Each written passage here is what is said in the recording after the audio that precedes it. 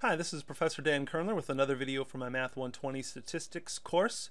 Uh, in this video we're going to talk about quantitative data, um, which are numbers, so measurements or counts. And so we're going to talk about how to organize them into tables, how to create something called a histogram, and then some couple other less popular or less common graphs, stem and leaf, and dot plots. And then we'll talk about the shape of the distribution. So let's start with discrete data. Remember, and I'll see if I can remember to do this, put the link up to types of data from section 1.2. Discrete data were countable, one, two, three, four. Uh, not measuring anything, how long is something, but, but countable. So I have some data from a previous student survey. I've got this uh, in StatCrunch. This was from fall 2015, and I had students answer how many desktops do they have in their house, laptops, tablets, number of siblings. So one thing I asked was to rate their interest from 1 to 10. So say I want to compile those into a table, uh, what I would do is do stat tables again, just like we did in the last video. And I'm going to do frequency, relative frequency, and I want to do interest in the course. And with discrete data, you'll see that it just lumps them individually. Uh, unless you have a really wide range and it goes from 1 to 100, then it'll try to group them. But here it just listed them individually, which is what it does for discrete data. So let me see, I'm going to copy this and see if we can get this in our PowerPoint. Uh, let's see here. Oh, not easily. Okay, is there a quick way for me to do this? You want to watch me typing. Let's see if I can edit the typing out. Oh boy. Technical difficulties here. So interest 2, we're missing a 3, but we want to make sure to include that there's a 0 there. So it looks like it goes 2 to 10. And then frequency uh, 1, 2, 3, nope. The 3 was 0, right? 0, two, three, five, seven, five, one, two. And then we have the relative frequencies. Let's round to the hundredths place.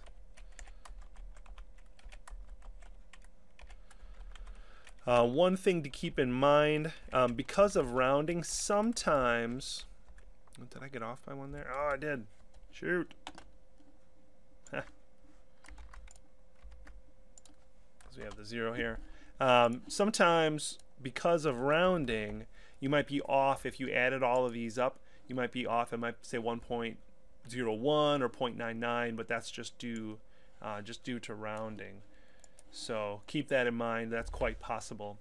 So that's discrete data, and again, with discrete data, discrete quantitative data, if you have individual values, the table would just list all of the individual values and their frequency and relative frequency.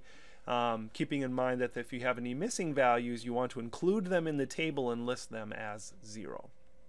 Now that's different from continuous data. So we have another study. This one's in our shared file, our shared group in StatCrunch. Now this is about low birth weight, a study of women, and I think it was their weight and height and some other factors and the birth weight of the child. And so we have weight. I think it's in grams um, because it's in thousands. So I think it's in grams. Um, and so you're measuring the weight. You're rounding to the nearest gram. Really, it could be milligrams or micrograms or nanograms or whatever. So it's it's the weight that you record is limited by the accuracy of your device. So that's a continuous random variable, and you can't enter all of the possibilities. You have to enter ranges. So if we go back to the data, uh, let's see, I have this low birth weight study, and you can see here, here's the birth weight of um, the child. So let's go stat tables frequency and we want the birth weight and we're going to do frequency and relative frequency and hit compute and you'll see it's going to pop up. Whoa lots of unique values. You want to turn on binning which is what StatCrunch calls when it creates groups and it kind of groups them together. So yes we do want to do that. Now there's one huge problem with StatCrunch um, in this particular table. And I'm wondering if you can look look at the table here, see if you can determine what is wrong with this table. You see it? So the, the issue here is like say 2000, where does 2000 go? Is 2000 in this category? Is 2000 in this category? What they mean here is 1000 including 1000 up to but not including 2000 and then 2000 including 2000 up to but not including 3000 and so that's what they mean by that. So when we do our file and let's see here we're gonna this is a little awkward I know. Let's see if we can jump forward here. So for our birth weight we're gonna do 0 to 999 frequency of 1 relative frequency 0.01 and then 1000 to 1999 frequency of 18 0.10 uh, 2000 so you can see now my categories are not overlapping and that just makes it a little bit clearer about where those cutoff values belong. And you can't your categories cannot overlap. That's the key here that we're talking about and again the relative frequency here uh, relative frequency here may what am I trying to do here? May add up to 1.01 or something like that. Um, but that's okay. That's just due to rounding. If it adds up to 1.03 then you've made some rounding error or calculation error within here. So continuous, you need, we call them classes, uh, and your class limits can't overlap. You have to have uh, separation there. All right, let's talk about stem and leaf plots. These are interesting, and I kind of use these more casually, not in a formal publication, but just for myself, I use these. I actually do it for this for exam scores. So I have some made up distribution here about exam scores. And what we're going to do is we're going to take the first digit off of all of these. We're going to call those the stems. So you can see I have them written here, 5, 6, 7, 8, 9. And then the leaf, the leaves, are going to be the second digit. And we're going to write them in order. And we're going to we're going to see if we can get an idea of how the data are distributed from this. So we're going to do, let's see, we have a 2 and an 8, a 0, 2, 3, 7, 9, 0, 2, 5, 6, 7, 9, 9, 2, 3, 5, 7, 7, 8, 8, and 1, 1, 4, 5. And so those, this now is a stem and leaf plot. The stems are off to the left, the leaves are off to the right. So when I see this 5 over here, it represents 75. And you can see it's kind of like the table, but now it's kind of giving you some a visual representation of it as well. There's also something we can call a split stem and leaf plot, where we would split each of these in half and go 0 to 4 and 5 to 9. So I would do a 2 here, 0, 2, 3, nope, nope. Yep, 0, 2, 3, no, ah, just 8 here. I knew that wasn't right. So there's the 52 and 58, and then here's the 0, 2, 3, 60, 62, 63, and then 67 and 69 are here. And you can see it's very similar. It kind of gives you a little more of a breakdown about where the scores are. Um, and it seems that whoever made this data setup leaned heavily, more heavily toward kind of the top end of each grade Then, so look at the 70 you can see a little more upper 70s, a little more upper 80s. This could happen randomly too, but this data, particular data set is just made up. So those are the stem and leaf plots, where again the stems are the first digits and the leaves are the second digits. Related to this is something called a histogram. So say we have our, our stem and leaf plot here, just kind of reformatted a little bit. If we turn it on its side and just kind of take out the numerical values and think of, well, this is 50 to 59, this is 60 to 69, and make a graph out of that, this is a histogram. Uh, there are two ways to label it. Your textbook, and I've kind of seen it pretty consistently this way, is labeled the lower class limits 50, 60, 70, 80. I've also seen it labeled because this kind of pulls in the same problem where does 60 go, where does 70 go. So I've also seen it labeled 50 to 59, 60 to 69, 70 to 79, etc. Um, just out of curiosity, let's see if we can see how StatCrunch does it. We've got, let's do birth weights. So let's do graph, histogram, and we'll do birth weights. Um, it'll probably do this zero automatically, but let's start with zero and a width of a thousand and compute.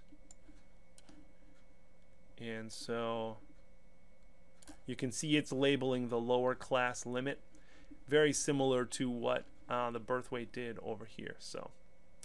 Um, one thing you can do here if you're interested is you can get the same information from the table. If you highlight over a particular bar, it tells you the frequency for that particular range. So, Oh, you'll notice here for those who have had some mathematics, I can't point out on my mouse because when I, my mouse moves, it moves. But you'll notice there's a bracket on 2000 and a parenthesis on 3000. That's actually interval notation if you're familiar with that from an algebra course. So the 2000 is included, but the 3000 is not.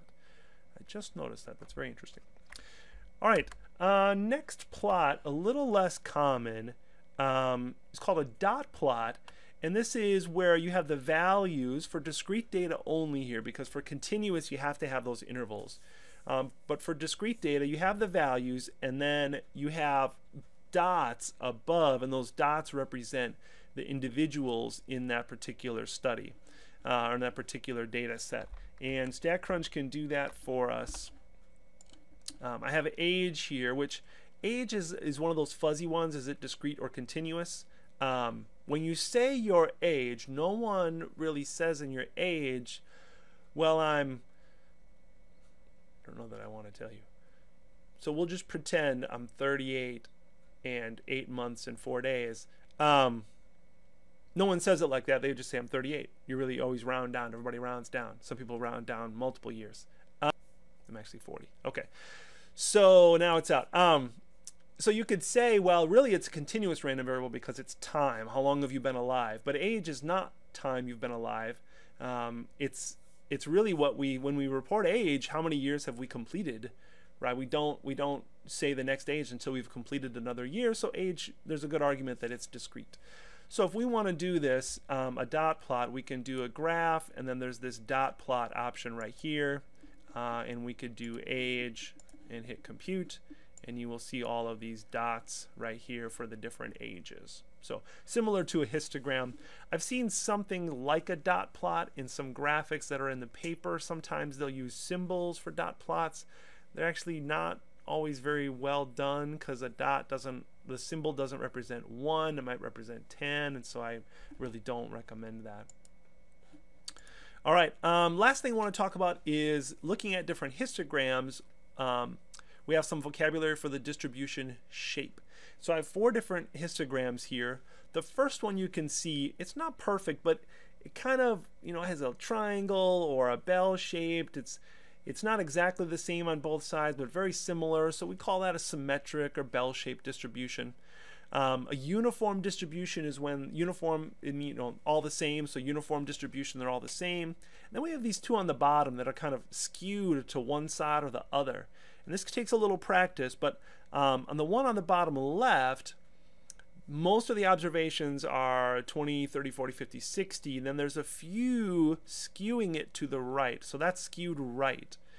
And then the other one, which is what I usually hope my test distributions end up, most people getting 70s, 80s, 90s, and maybe a few people pulling it to the left. So that one is skewed left. All right, let's summarize here from 2.2 the quantitative data. We've got um, discrete data for our tables there. The column on the left is just the individual values. If you have continuous data, you have these classes. So I've got some, some examples there. The key point there is that the classes cannot overlap. Uh, we have histograms, which um, the bar, they're bar graphs here. The key is that the bars don't, um, there's no gap between them because they're right next to each other. Um, and um, and what I mean by that is the values are right next to each other. So 69 is right next to 70. So it's not a bar graph with individual classes, it's a histogram.